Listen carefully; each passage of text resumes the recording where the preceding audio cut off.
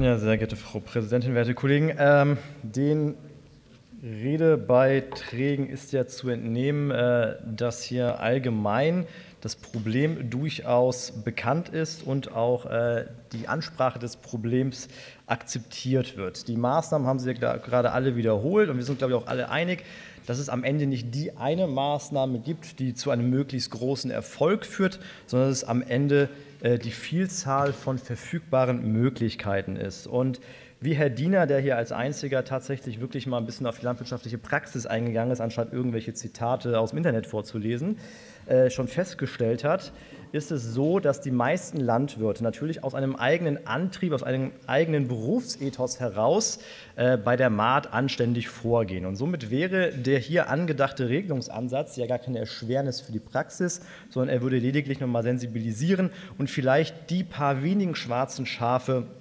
äh, rausfiltern und ihnen dann letztlich auch äh, gesetzlich vorzuschreiben, wie sie es zu erledigen haben. Es gibt konservative Schätzungen, die sprechen von ca. 50.000 getöteten Wildtieren durch die Maat jedes Jahr.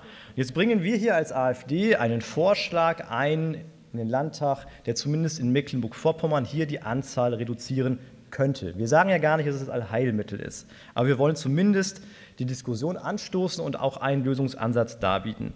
Und dann kommt Herr Minister Backhaus, anstatt als Minister diese Verantwortung auch wahrzunehmen und zu sagen, ja, lass uns darüber mal im Ausschuss reden, wir können ja mal gucken, wie wir gemeinsam das Problem lösen können und wirft uns hier vor, wir wollen hier nur populistische Anträge reinbringen und hätten gar kein Interesse an Lösungsansätzen. Das ist ziemlich dürftig, Herr Minister.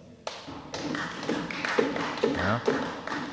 Und selbst wenn Sie jetzt hier sagen, dass Sie jedes Jahr unzählige Rehkitze und Feldhasen retten, auch Sie werden nicht alle retten. Und es stände Ihnen gut zu Gesicht, wenn Sie zumindest die Bereitschaft äh, hätten, über solche Ideen mal im Ausschuss zu sprechen. Aber selbst dafür reicht es ja offenbar nicht.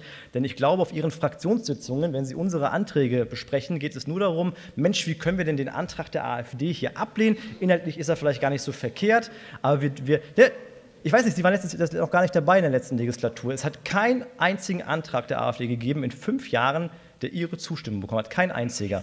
Ja. Genau, das ist, ja, Herr Krüger, das ist in Ordnung. Das ist, wir, kennen, wir, kennen ja, wir kennen ja Ihren Ansatz. Wir kennen Ihren äußerst demokratischen Ansatz, ja. Den kennen wir ja, ist ja in Ordnung. Danke, Herr Krüger, nochmal für die Erklärung. Und damit ist auch alles gesagt, weil dann können wir uns letztlich auch jede inhaltliche Debatte hier diesem Haus sparen, wenn Sie so Demokratie verstehen, Herr Krüger. Dankeschön.